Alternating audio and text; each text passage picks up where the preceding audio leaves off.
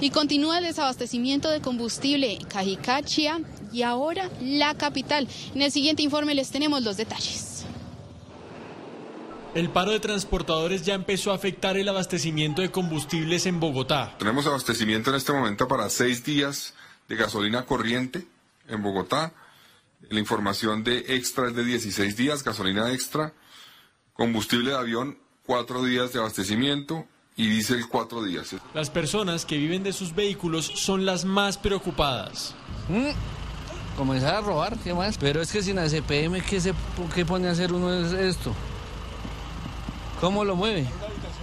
Sí, ponerse a vender perros y carro de quieto, porque qué más. no, baila. No, porque no, esto funciona con gasolina, esto es un motor de dos tiempos, funciona con gasolina y aceite. Si se acaba, pues a charpear. Muchos conductores de vehículos particulares ya tienen una alternativa en mente si hay desabastecimiento. Pues camino, traigo el burro. Luego esto no existía antes, ¿cuál es el problema? Así en la finca tengo un burro. En municipios aledaños a la capital, como Subachoque, se acabó la gasolina desde ayer y muchos otros están en riesgo.